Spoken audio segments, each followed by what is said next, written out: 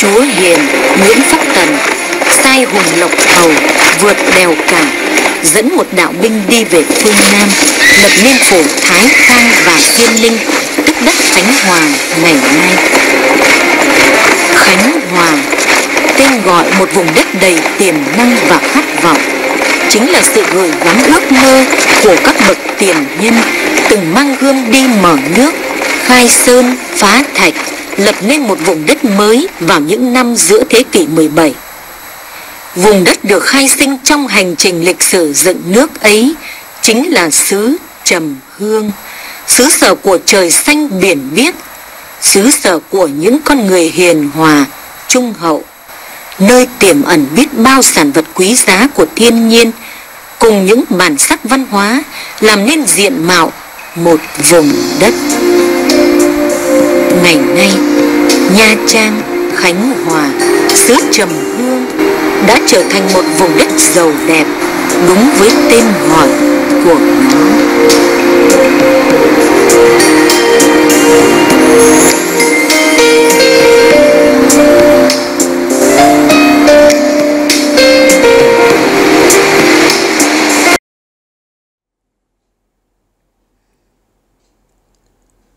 Hơn 220 năm qua, theo phá hệ của họ Lưu thuộc xã Diên Điền, huyện Diên Khánh. Chúng tôi đã trải qua hơn 10 đời trên miền đất màu mỡ, thuần nông này.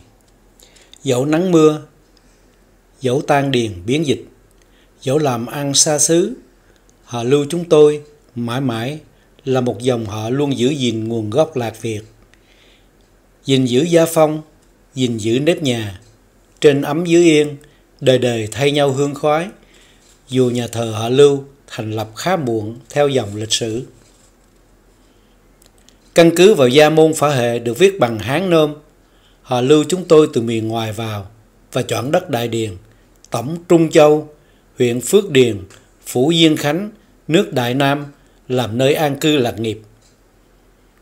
Căn cứ vào danh từ Thái Công, ngày nay chúng ta có thể đoán định được đây là một nhà phú nông được vọng vì đạo đức, vì nhân cách sống tốt đối với xã hội nhân quần. Chúng tôi cũng được biết các thôn Đại Điền, tứ thôn Đại Điền, Đông, Tây, Nam, Bắc là vùng đất màu mỡ, mưa thuận, gió hòa, là vựa lúa đem lại thịnh vượng, no ấm cho cả tỉnh Khánh Hòa. Cao cao tổ là Thái Công Lưu Văn Toàn, Tầng tổ là ông Lưu Văn Nhân, Cao tổ là ông Lưu Văn Lâm, Hiền tổ là ông Lưu Văn Thư. Năm 1929, cả họ quyết định trích đất thừa tự của họ Lưu xây cất một nhà thờ họ khoảng 200 mét vuông trên mảnh đất đã dưỡng nuôi bao đời con cháu họ Lưu trên đường lập nghiệp, gìn giữ hương khói cho những người xa xứ.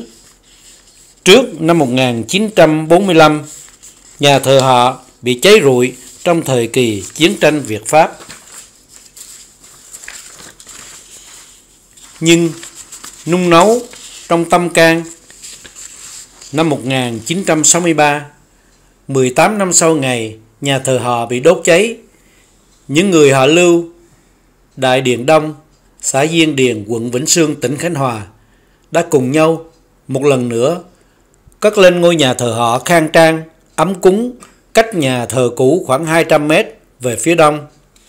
Tuy không nghi nga, tráng lệ, nhưng đó chính là nơi thờ cúng tổ tiên, ôn lại truyền thống tốt đẹp của ông cha lưu truyền cho các thế hệ kế thừa.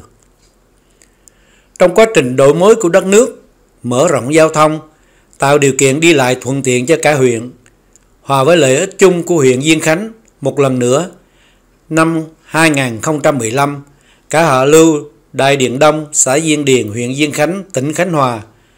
Nhà thờ Hạ Lưu lại dời về vị trí ban đầu năm 1929 để xây dựng nhà thờ họ trên nền đất xưa mà tổ tiên ông bà để lại. À, kính thưa bà con đồng tộc, hôm nay à, đoàn à, kênh lưu tộc miền Nam chúng tôi sẽ tiếp tục à, ghé thăm và chiêm bái dòng họ Lưu, xã Diễn Điền, huyện Yên Khánh, tỉnh Nha Trang, à, tỉnh Khánh Hòa. xin mời bà con dòng tộc chúng ta cùng à, ghé thăm Xưa bày, nay làm, cả họ đã chọn ngày 15 tháng 4 âm lịch hàng năm để làm ngày hiệp kỵ chung cho cả họ. Hiện nay, họ Lưu, Đại Điện Đông, Diên Điền, Diên Khánh có ba chi họ lớn và có khoảng 200 đinh. Hàng năm, nhân dịp lễ dỗ tổ, ban tổ chức lễ dỗ tộc họ Lưu Đại Điện Đông, Diên Điền, Diên Khánh đã thân ái mời các đồng tộc họ Lưu tại tỉnh nhà, các tỉnh bạn đã từng gặp gỡ, giao lưu, cũng như mời đại diện Hội đồng Liên lạc dòng họ Lưu phương Nam, Ban chấp hành lưu tộc miền Nam, họ Lưu Vĩnh Thái, họ Lưu Cầu Kế, họ Lưu Văn Dưỡng Mông, Quảng Nam, Ban chấp hành lưu tộc Phú Yên, các ban liên lạc, kết nối họ Lưu Việt Nam khác, cùng đến tham dự và giao lưu, chia vui cùng với tộc họ Lưu Đài Điện Đông, Diên Điền, Diên Khánh. Lưu tộc miền Nam á có một cái ý là muốn à, nối kết các cái họ lưu trong toàn quốc không phân biệt là nam bắc gì hết à, muốn à, dựng lại một cái video của các cái dòng họ để trên cơ sở đó mình có thể tìm hiểu về nhau để kết nối với nhau của những dòng họ lưu do đó cho nên là hôm nay đi trong à, đoàn à, quay phim á thì gồm có anh à, lương tiến là phó chủ tịch của hội đồng lưu tập miền Nam và có cháu uh, Lưu Khiêm. Lưu Khiêm là phụ trách về cái mảng truyền thông để ra đây để ghi hình cũng như là tạo cái điều kiện để chúng ta kết nối. À, để à, biết, kêu gọi à, gọi nhau cho nó tốt thì có thể nhờ anh Khiết giới thiệu bà con của mình ở đây để cho mình à, đoàn được biết. Hai thưa à, các anh ở dân ở miền Nam. Hay tin các anh ra đây để làm công tác truyền thông. Thì chúng tôi sẽ huy động một số là những ông lão như là anh em trong tộc nội tộc để tới đây để tiếp đón cùng với vì trước đó là đây là ba của tôi, tên là Lưu Phượng. Dạ, lẽ là có trưởng tộc đó, lớn tuổi rồi, trên 90 rồi, nhưng mà hôm nay là do sức khỏe cho nên là không có dự được. Sau đó là anh Lưu Thành Luận làm anh con bác tôi rồi kia là ông con con trưởng tộc Lưu. Lưu Minh Hồng. Lưu Minh Hồng. Còn anh kia là Lưu Đức Tính là là ảnh là là Đang đang đi đây rồi nè. Đang- đang- Đang ở đây nè. tu bổ À. còn à, tôi là là cũng là Lưu ở đây. Con cũng về. Lưu Thanh Khiết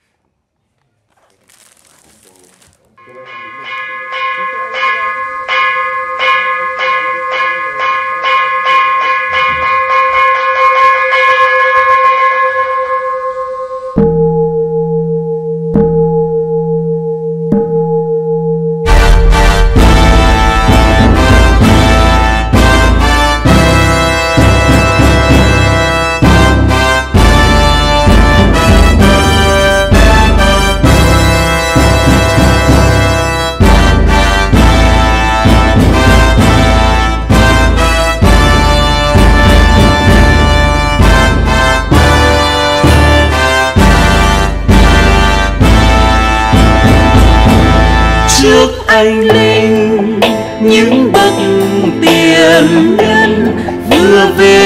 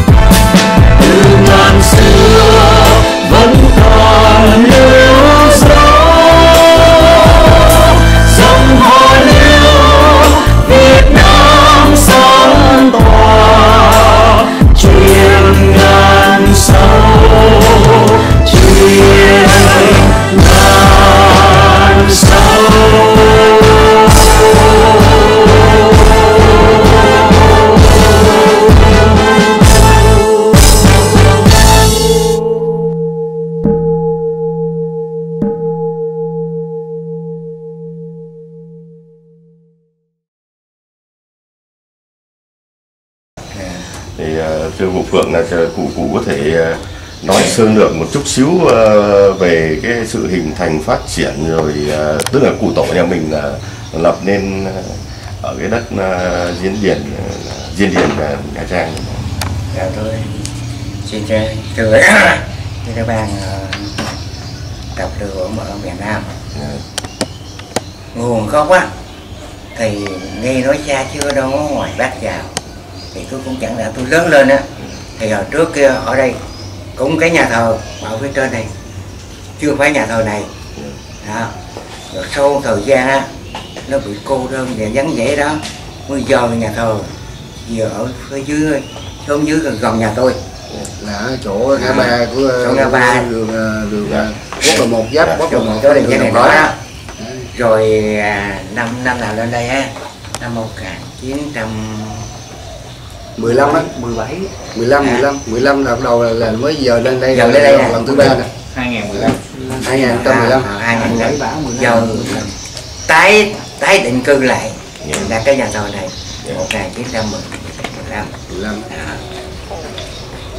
2000 chứ dưới kia là một 1960 à.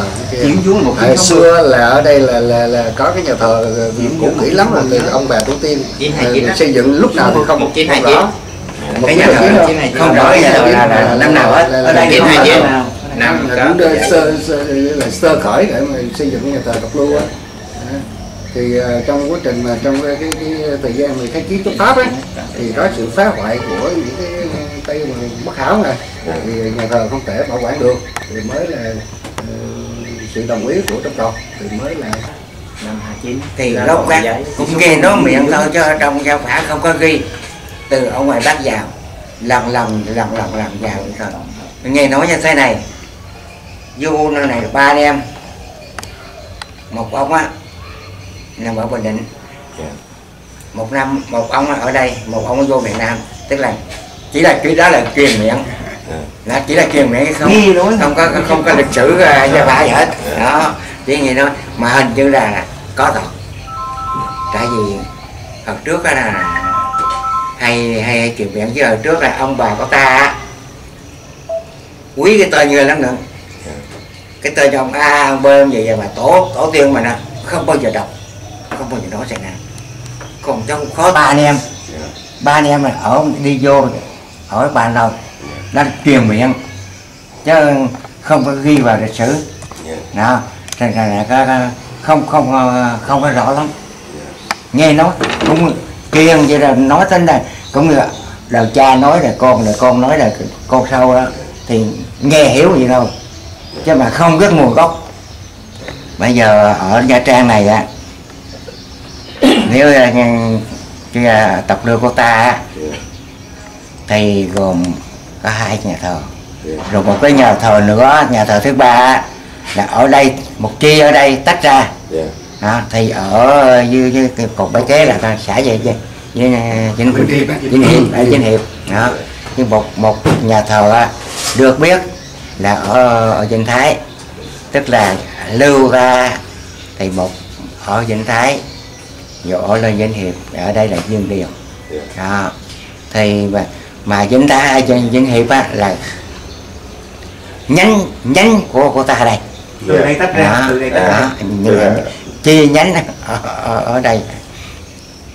Giống như một gia đình ấy. dạ cũng được tách ra đó, đó. là vậy.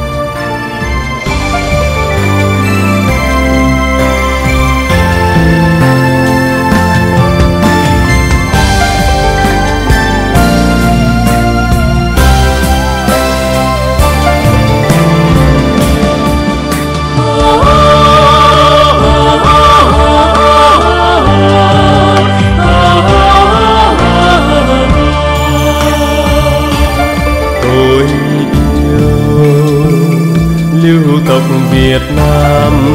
Dòng giống con là trâu hồng, tiền nhân góp công mơ coi, đền thờ công trạng còn ghi tôi yêu lưu tộc Việt Nam, con dân nước Việt anh hùng. Ngàn năm lưu danh rạng dỡ tự hào